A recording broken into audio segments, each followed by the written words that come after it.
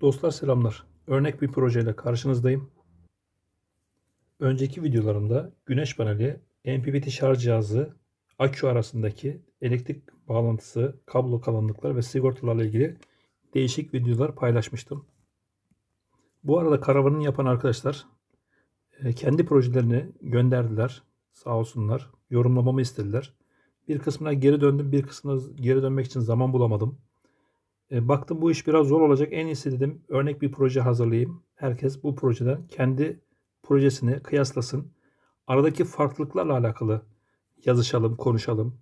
Bir problemler varsa veya anlayamadığımız yerler varsa onlarla ilgili bu videonun arkası altına yorum yapın. Ben elimden geldiğince size cevap vermeye çalışayım arkadaşlar. Beraber projelerimizi yürütelim. Arkadaşlar projede sadece artı elektrikle alakalı kabloyu çizdim. Eksi elektrikler zaten hepsi bir yere toplanacak. Onları mevcut kabloların yanından siz çekersiniz diye düşünüyorum. Bu şekilde projenin daha sade ve basit anlaşılır olduğunu düşünüyorum. Sadece güneş paneli kısmında artı ve eksi elektrik kablolarını çektim, çizdim. Çünkü burada seri bağlantı var. Bu kısım belki kafanızı karıştırabilir düşüncesiyle. Buraya çizdim. Onun haricindeki bütün kablolar sadece artı kablolar. Ok yönleri akımların gidiş yönlerini gösterir. Nerenin nereyi beslediğini ok yönlerinden anlayabiliriz. Arkadaşlar projenin ortasından yukarısı, şuradan yukarısı komple kullanmamız gereken formül burası. Alttaki 12 volt sigortadan sonrası burada da kullanmamız gereken formül bu arkadaşlar. 12 volt sigortadan sonrası. Projeyi inceleyin. Kablo kalınlıklarını ve sigortalar üzerine yazmadım. Bunları beraber hesaplayacağız. Nasıl hesaplandığını size de göstereceğim. Burada bilmemiz gereken özellikle bara ve yukarısındaki kısım. Buradaki kablonun mesafeleri ve kablonun üzerinden geçen akımlar bizim için önemli arkadaşlar. Bunları ölçmeniz gerekiyor. Ben tahmini olarak yazacağım bazı rakamları. Herkesin karavandaki proje farklı veya sigorta kutularının yerleri ya da yaşam akülerinin yerleri farklı olacağı için kablo mesafeleri değişik olabilir. Formülü zaten paylaştık. Formüle göre neydi formülümüz arkadaşlar? Akım çarpı metre bölü 10 bizim güç devresindeki formülümüz. Aşağıdaki 12 volttan sonra kullanma, kullanmamız gereken formül akım çarpı metre bölü 20. Yukarıda 10 aşağıdan için 20. 10 kullanırsak arkadaşlar %3 yani 0,3 voltluk bir gerilim düşümü izin vermiş oluruz. Bu bizim güç devresinde önemli bir faktör. Örneğin güneş panellerinden gelen elektrik 20 volt yerine e, bizim MPPT şarj cihazlarına ulaştığında 0,3 volt düşelim. 20 volttan ne olur? 17 19.7 volt. Aşağıda 12 volt sigorta kısmında 20 kullandık. 0,6 volt, 0,7 voltluk bir gerilim düşümüne izin veriyoruz. Bu da ne anlama geliyor? 12 voltluk devrede hidrofor, buzdolabı, TV, aydınlatma vesaire 12 volt devrede biz kabloyu çektiğimizde 0,7 volt gerilim düşümüne izin verdiğimizde 12 voltumuz örneğin aydınlatmanın ucuna 11.3 volt olarak gidebilir en düşük. Bu şekilde hesaplamamızı yapıyoruz arkadaşlar. Acaba karışık mı oldu? Buradan sonrasını biraz sadeleştirip tekrar anlatayım. Arkadaşlar iki farklı formül kullandık. Birinci formülümüz güç devresindeki akım çarpı metre bölü 10. Bölü 10'un anlamı 0,3 voltluk gerilim düşümüne müsaade edebiliriz. Buna göre kablo ortaya çıksın formülümüz sonucunda. Aşağıdaki formülde akım çarpı metre bölü 20 burada da 0,6-0,7 volta kadar gerilim düşümüne müsaade edebiliriz kablo üzerindeki. Ona göre bize kablo kesiti sunsun formül sonucunda. Bu 12 volt sigortadan sonraki kısımlarda tamamında bölü 20 kullanacağız. Yukarıdaki kısımların tamamında bölü 10 kullanacağız. Yukarıda gerilim düşümleri bizim için çok önemli. Güneş panelinden gelecek voltajın en iyi, en yüksek değerlerde veya akü ile invertör arasındaki çalışacak değerlerin maksimum seviyede gelebilmesi için bölü 10 yani 0,3'e kadar müsaade edecek şekilde kablo kesidine sunuyoruz arkadaşlar bu formül sonucunda. Hesaplamaya geçiyoruz. Önce kablo ölçülerini yazarak işlemlere başlıyoruz. Güneş paneli MPPT şarj cihazı arasında yaklaşık 5 metre kablo olduğunu varsayıyoruz. Güneş panelimizin akımı 10 amperdi. Seri bağladığımız için bu akım değişmiyor arkadaşlar. Güneş panelimizin akımı 10 amperdi. Sigortamız 10 amperlik. Seri bağladığımız için iki güneş paneli tek güneş paneli gibi akım çeker. 10 amper. 5 metre kablo. Hemen akım çarpı metre bölü 10 formülümüzden arkadaşlar yaklaşık 6 milimetre kare hesaplayalım. Akım 10 çarpı metre 5 bölü 10 eşittir. 5 milimetre kablo çıktı. Piyasada standartta 5 milimetre kablo yok arkadaşlar. Bir üstü olan 6 milimetrelik kablo kullanacağız burada. 6 milimetre kare kablo güneş paneli MPPT arasında 10 amperde sigorta kullanıyoruz. Burası tamam. MPPT şarj kontrol cihazı genelde akünün yanında olur. Burada yaklaşık 2 metre kablomuz olduğunu farz ediyorum. 40 amperlik MPPT şarj cihazı 40 amperlik sigorta kullanıyoruz. Aradaki kabloyu da hesaplayalım. 40 amper çarpı 2 metre bölü 10 eşittir 8'lik kablo. 8'lik kablo standart yok. Bir üstünde olan 10'luk kablo kullanıyoruz arkadaşlar. Baraya geldik. Normalde bara kullanmanız şart değil. Bütün bağlantıları akünün üzerinde toplayabilirsiniz. Burada baraya çiziyoruz. Biraz daha şekil anlaşılır ve sade olsun diye. Bir artı bara oluşturabilirsiniz. Veya direkt akünün üzerinde, klemens üzerinde e, vidalarla artı kutup üzerinde bütün kabloları toplayabilirsiniz. O sizin tercihiniz. İnverter kısmına gelelim. İnvertörümüz 1000 watt olabilir. Veya 2000 watt olabilir. Yaklaşık 1000 wattta 100 amper sigorta kullanılır. 2000 wattta da yaklaşık 200 amper sigorta kullanılır arkadaşlar. İnvertörün kendi üzerindeki etikette olması gereken sigorta yazar. Bunun için hesaplama yapmanıza gerek yok. Ben buraya yaklaşık rakamları yazıyorum. Kablo mesafesi de yaklaşık burada 1 veya 2 metre kadar kablo kullanılır genelde. Çünkü aküyle yan yanadır. Önce 1000 wattlık inverter 100 amper çarpı 2 metre bölü 10 20'lik kablo arkadaşlar. 200 amperlik inverter içinde 200 amper çarpı 2 metre bölü 10 bu da 40'lık kablodur arkadaşlar.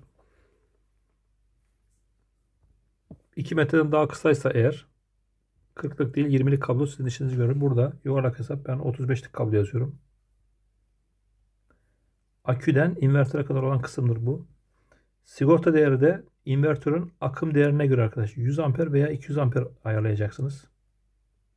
Aküden invertör için ayrı bir sigorta ve kablo çektim. Dikkat edin. Baraya hiç girmedim. Bunlar çünkü 100 amper 200 amper büyük akımlar arkadaşlar. Bunu baraya takmak çok da doğru değil. Direkt aküden alın. Akü kafasından ve bunun sigortası ayrı olsun. İkinci hat bizim 12 volt baramızı besleyecek şekilde olsun. Şimdi o kısmın hesabını yapalım. Ya da onu en sona bırakayım. Araç aküsü ile yaşam aküsü arasındaki mesafenin hesabı. Buradaki mesafe 2 ile 5 metre olduğunu tahmin ediyorum. Çekilecek akım yaklaşık 50 amper civarında. Şarj edemesinden. Burada 50 amperlik bir sigorta olacak. Kablo kesini hesaplıyoruz. 50 amper çarpı 5 metre bölü 10 eşittir 25'lik kabloya denk geliyor. Arkadaşlar burası önemli bir hat. Farklı yüklere maruz kalacaktır. Biz burayı sağlam ve güçlü olması açısından 35'lik kablo kullanalım. Harici şarj cihazımıza gelelim. Harici şarj cihazımız yaklaşık 20 amper olduğunu planlayalım. Sigortamız 25 amper. Kablo mesafesi yaklaşık 2 metre civarında. Hemen formülümüzü uyguluyoruz. 25 amper çarpı 2 metre bölü 10 eşittir 5'lik kablo çıktı. Buraya arkadaşlar 6'lık kablo takabiliriz. Evet yaklaşık her şey ortaya çıktı gibi. Sadece 12 volt hattımız kaldı. Buraya tersten gideceğiz. Burada yük hesabı yapmamız gerekiyor. Bir örnekleme yapalım. Hidrofor 8 amperlik arkadaşlar. Bunu 10 amper sigorta takacağız. Buzdolabı yaklaşık 20 amper civarında akım çeker. Biz bunu 25 amper sigorta takabiliriz. Televizyon az akım çeker bunlar. 2-5 amper civarındadır. Televizyon üstüne bakmak lazım. Yine de ben buraya 10 amper yazayım. Belki televizyonun hattına başka bir şey takılabilir. Webasto arkadaşlar yaklaşık 10 amper civarında. O da 8 amper çeker. %25 tolerans koyuyoruz sigorta değerlerine arkadaşlar. Yani 10 amper çeken cihaza 12 amper civarında sigorta ya da 8 amper çekiyorsa 10 amper takmamız gerekir.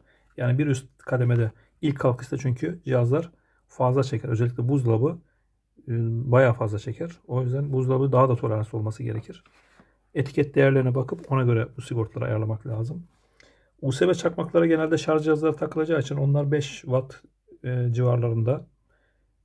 Bu da çok düşük akımlar yani 1 amper 0.5 amper gibi akımlar çeker. Bunlar çok önemli yüksek kuvvetler değil ama biz buna yine en az 5 amperlik 5 amper 5 amper aydınlatmalar bunlar da arkadaşlar karavan içerisinde USB çakmakları ve aydınlatmaları en az ikişer hat yapın. E, neden? Bir hatta arıza olduğunda komple örnek verin bir aydınlatma arızası olduğunda bütün karavandaki aydınlatmayı kaybetmiş olursunuz. Tek hat yaparsanız. En az iki. Benim tercihim dört hattır. Ne olabilir bunlar? İç aydınlatma, dış aydınlatma, karavan dışındaki aydınlatmalar. Yerden aydınlatmayı ayrı yaparsınız. Bir de dolap içerisinde tavan aydınlatması gibi düşünebilirsin. Bunlar dört farklı aydınlatma yapıp dört ayrı, ayrı sigorta kullanmakta fayda var. USB çakmaklar da aynı şekilde. Yatak tarafındaki sigortaları ayrı kullanın. İşte salon tarafındaki sigorta ayrı kullanın mesela. En azından bir sigorta attığında bir bölümün USB'sini çakmağını kaybetmiş olursunuz. Diğer taraf çalışmaya devam eder. Aydınlatmalar arkadaşlar 5'er amper. Şimdi yükleri toplayacağız. Toplamda 75 amper gibi bir güç hesapladık bu tarafta. Tabi buradaki karavanımız buzdolabı, televizyon ve diğer cihazlarımız her şey 12 volta yüklenecek şekilde dizayn edilmiş durumda. Ana sigortamız arkadaşlar 75 amperin üzerinde ne olabilir? 80 yok 100 amper var tahmin ediyorum. Buraya bir 100, 100 amperlik sigorta kullanılabilir. 75 amper çarpı 2 metre desek bölü 20 7.5 onluk kablo denk geliyor. Yani burada 10 mm kablo kullanılabilir. Şimdi buradan 100 amper asılacağız bara ile yaşam aküsü arasındaki mesafe ne kadar? Sigorta masanın üstündeki dolapta olsa 3 metre kablo bizim işimizi görecek. 10 milimetre kesetli bir kablo görünüyor burası. Aynı şekilde aynı akımı çektiğinden. Başka ne var burada? Barayı kullanan, şu yolu kullanan. Akü şarj cihazımızdan bir 20 amper geliyor. Buradan 40 amper buradan geliyor. 20 amper buradan geliyor. 60 amper en yüksek hangisi? 100 amper hesaplayalım. 3 metre mesafe 100 amper. Burayı 10 yapalım. 30'luk kablo çıktı arkadaşlar. Hemen tavsiyem zaten 35'lik kabloydu. Güç devrelerinde yaşam aküsüyle bara arasındaki iki araç arasındaki 35'lik kablo kullandık. İnvertör tarafında da 35'lik kablo kullandık. Bunlar arkadaşlar kalın kablo kullanmakta fayda var ince olmasın kesinlikle. Çünkü buradaki oluşacak arıza vesaire bunlar ciddi arızalardır. Buradaki dolaşan güç de ciddi güçlerdir. Mutlaka bir üst kademedeki kabloları kullanalım. Biz de zaten öyle yaptık. Toleranslı kullandık kablolarımızı.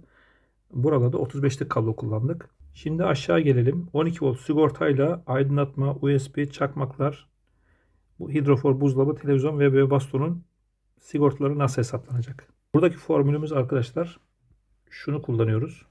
Bölü 20 yapacağız. Hemen mesafe hesaplamalarını yapalım. Arkadaşlar aydınlatmalarla çakmakları yaklaşık 5'er metre kablo koydum. Kafadan. Şöyle yapalım 5 metre. Hemen hesaplamasını yapalım. 5 çarpı 5 amper bölü 20 dedik burayı. 0.7 voltluk gerilim düşümü 1.2 yani 1.5'luk kablo burada işimizi görecek. For hattında ne olabilir? Yaklaşık 10 metre gider mi? Gitmez aslında da 10 metre olduğunu farz edelim. 10 amper akım yazdık.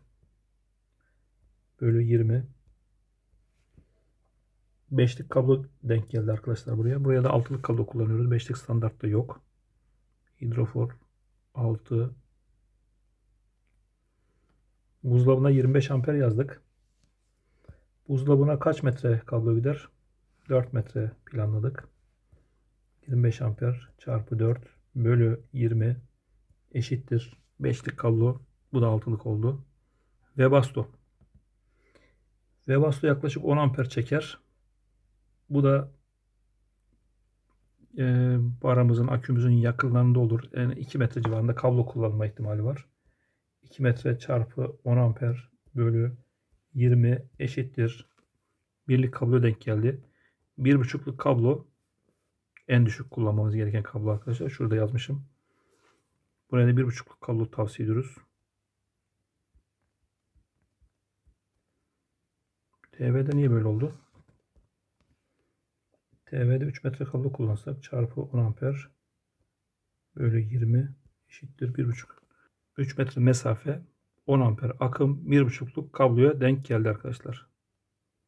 Bunu temize çekeyim. Videonun sonuna koyalım.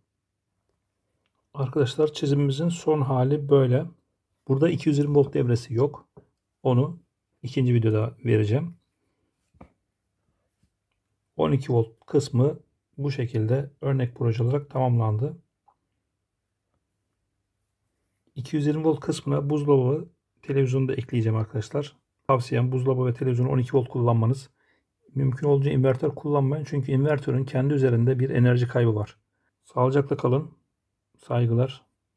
Sorular ve yorumları videonun altına bekliyorum. Bir sonraki videoda görüşmek üzere. Hoşçakalın.